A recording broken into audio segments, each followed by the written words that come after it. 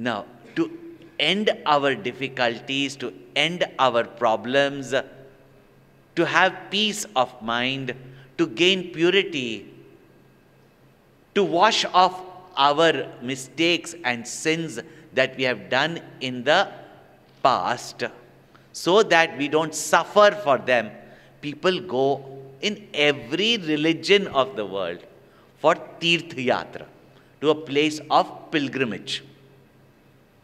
And the belief amongst the people is that, that when you go to a place of pilgrimage, your sins are washed off. And therefore, the cause of your suffering comes to an end. So people go for these Tirth Yatras, journey to these places.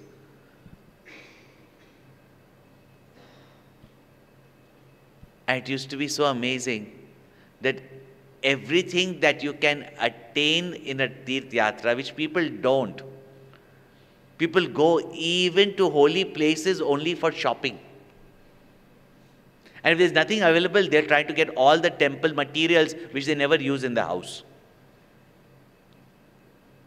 It is not from now, from time immemorial. Even Jesus screamed at the temples at that time in his area that you made a marketplace of my father's house.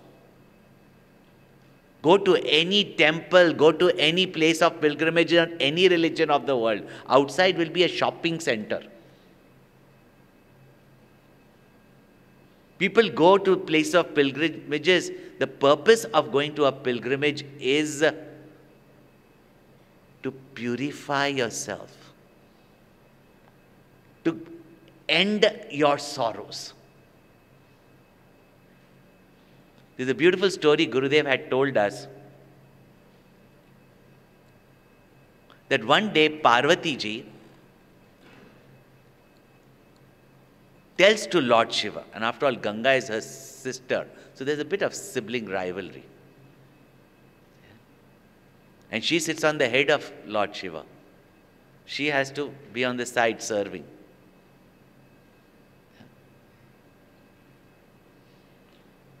Gurudev used to make it so funny, but now I can't crack those jokes.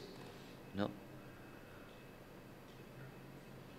So one day she says to Lord Shiva, You have given the boon, Brahmaji has given the boon, that whoever has bath in the river Ganga, their sins get washed off. Then why are so many people, she's mother of the universe, why are so many people suffering? So many people go to the Ganga to have bath. Why are they suffering? Is it your word is not true? Is Ganga not purifying? Or is it just out of belief that people go there hoping and for the temporarily feeling that their sins are washed off and then nothing really happens because they still continue to suffer. The world is suffering. Ganga was brought down for people to Uh, to end their sufferings. So Shivji said, their sins are washed off. But no one has the faith. She says, so many people go Har Har Gange, Har Har Gange, Har Har Gange. And go and light lamps there, have bath in that cold freezing water. You mean to say they have no faith? He says, no if they had the faith that their sins are washed off by Ganga, they would sin no more and they would suffer no more.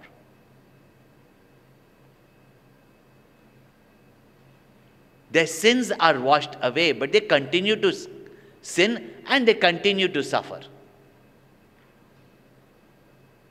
So she said, Would say, so many millions go to have bath in the Ganga or go to any of these places of pilgrimages and they don't have even, not one of them has got faith because I don't see anyone suffering coming to an end.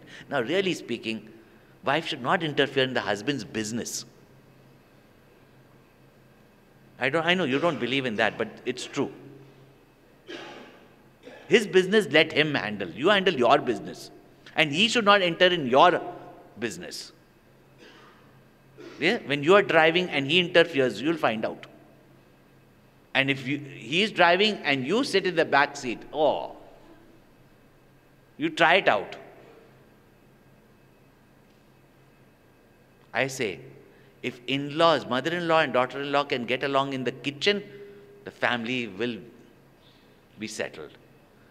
And if a marriage can survive in a car,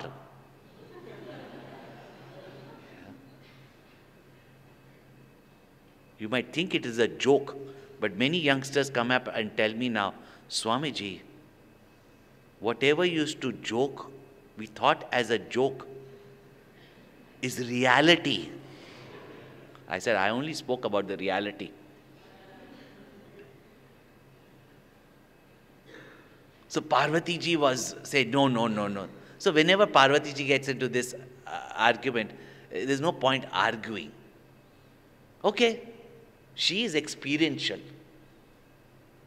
Logic and arguments doesn't work. She knows what she feels, she knows what she sees. So she said, let's go and test out. Let us see. So he said, okay, let's go.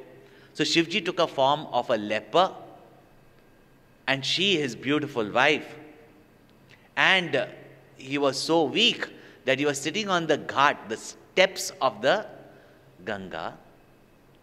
And she was weeping away and seeing a woman in distress. Everybody came right after that to console her and says, What? She says, My husband can't go down to the Ganga.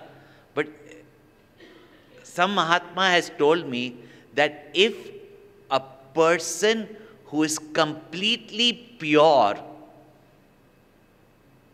pours Ganga water on my husband, my husband will be cured of his leprosy. Everybody just quietly went away from there.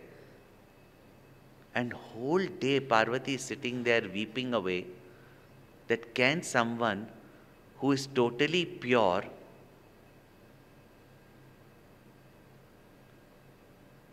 bathe my husband with, they don't have to touch him.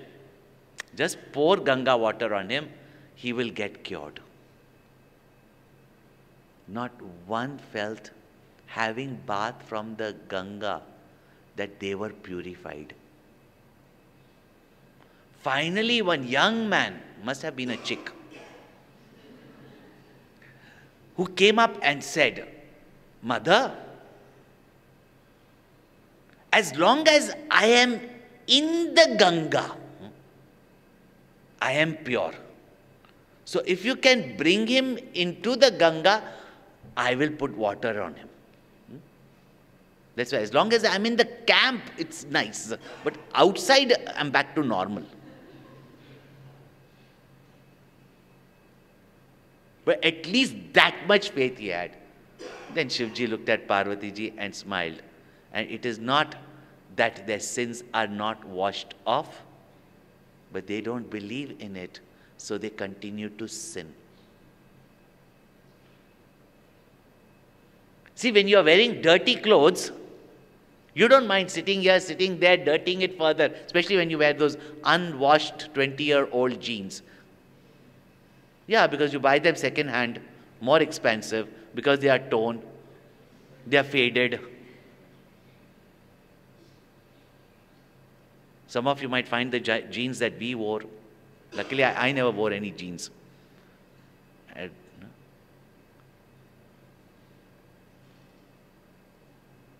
You don't mind sitting here, getting it dirty, anything dropping on it. In fact, the more it drops, the more used it looks. But when you wear your spotless white clothes, even on this white hmm, carpet. Others have walked with their dirty feet. The idea of leaving your shoes outside is to leave the dirt outside. But they'll run outside with their bare feet and come with their dirty feet into the hall, no? Uh, we've left our slippers outside. Did you leave the dirt outside, not their slippers? So you come there in the white that dirt shows, then there also You'll choose a place where it's not dirty to sit. Or how careful you are when you are wearing clean white clothes that even a little dirt should not fall on it because it will become visible. That is the purpose of a Tirth And therefore, Guru is the greatest purifier. It will come up also, the word. Hmm? Pavanaya Namaha. So, what is Tirtha? Hmm? We'll chant the name. Om Tirthaswarupaya Namaha.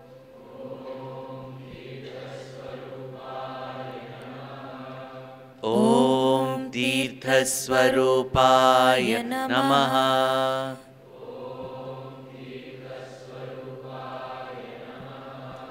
ॐ तीर्थस्वरूपाय नमः।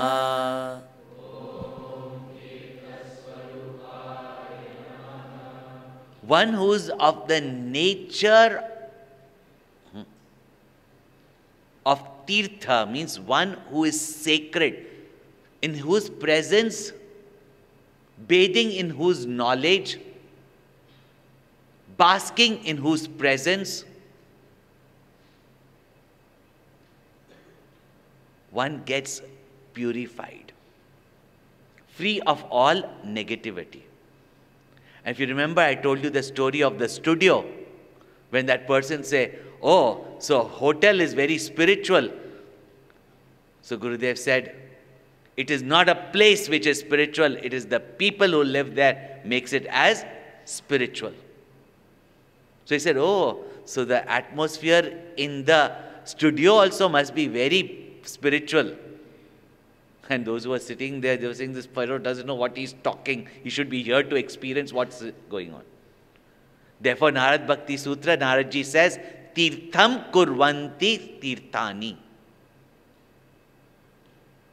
They are purifiers of the places of pilgrimage, where people go to purify themselves.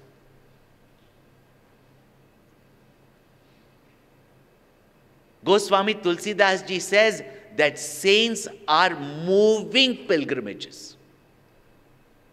And the most sacred place of pilgrimages for, the Hindus is where the three sacred rivers meet, which is called as Triveni at Prayag, where Ganga, Yamuna, and that Saraswati, who is now not seen. And then, anyway, in this book, there is a quote at Prayag, Gurudev says, That is Yamuna, this is Ganga, and this is Saraswati, the source of knowledge. And there are people who think that there is an underground river, Saraswati, meeting there. But as far as Goswami Tulsidas ji says, he says, Ram Bhagati Jaha Sur Saridara. Prayag, he says, is satsang, the company of saints and sages, where the river of devotion Ganga is flowing, where discussion on dharma and adharma, right and wrong, is the Yamuna that is flowing, and where Brahma Vichar, discussions or inquiry into the supreme reality is Saraswati. And saints and sages are not only to whom you go and get purified, our Guru was a moving, traveling, flying Tirtha. Wherever he went, he purified. Even if there were conflict amongst people, you think that if you sit and discuss with them who's right, who's wrong, who should think like that, who should think like that, nothing of that. Before Gurudev would come into town, everybody would be fighting, you know, especially when you have to organize something. There is always some conflict, some egos are hurt, something or the other happens, somebody's opinion is not heard, and everybody says, Now Gurudev is going to come, I'm going to report about this person, this one, and that person says, I'm going to tell about this one.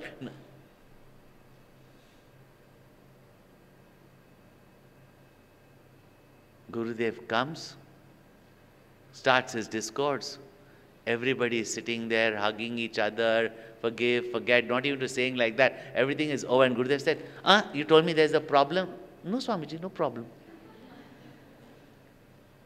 Tirtham kurvanti tirthani. They make even places of pilgrimages pure. That's why when Ganga was coming down on the earth, when sage Bhagiratha for the children of Sagar,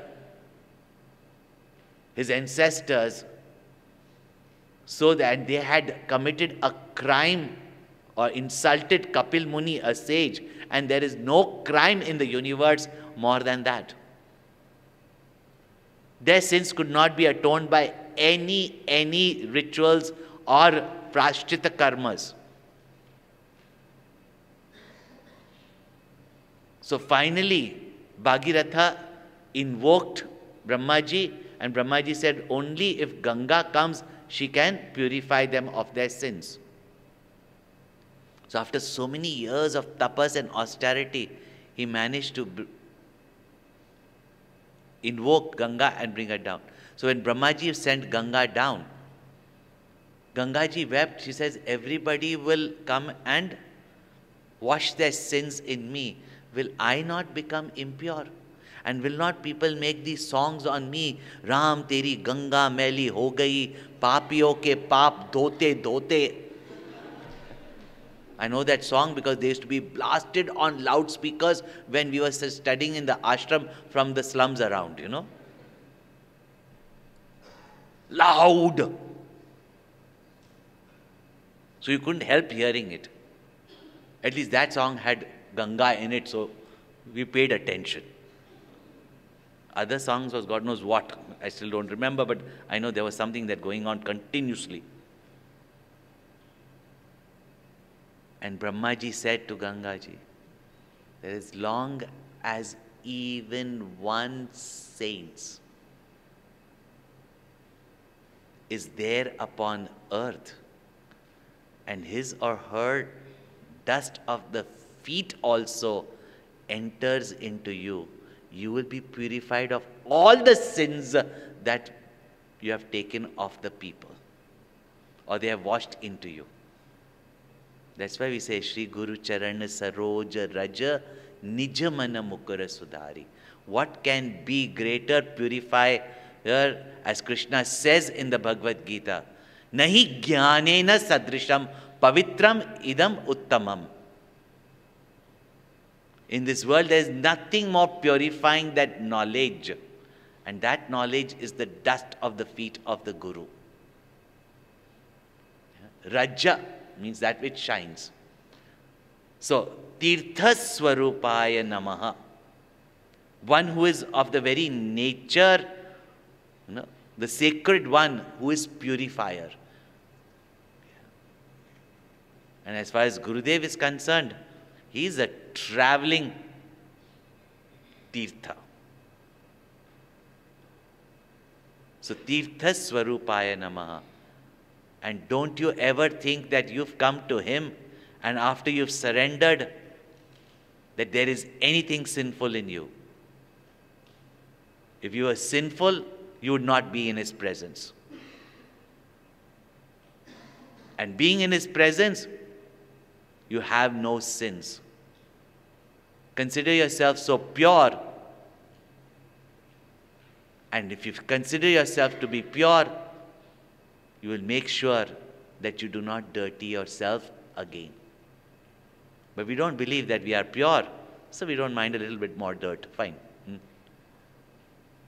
But Tirtha Swarupaya Namaha.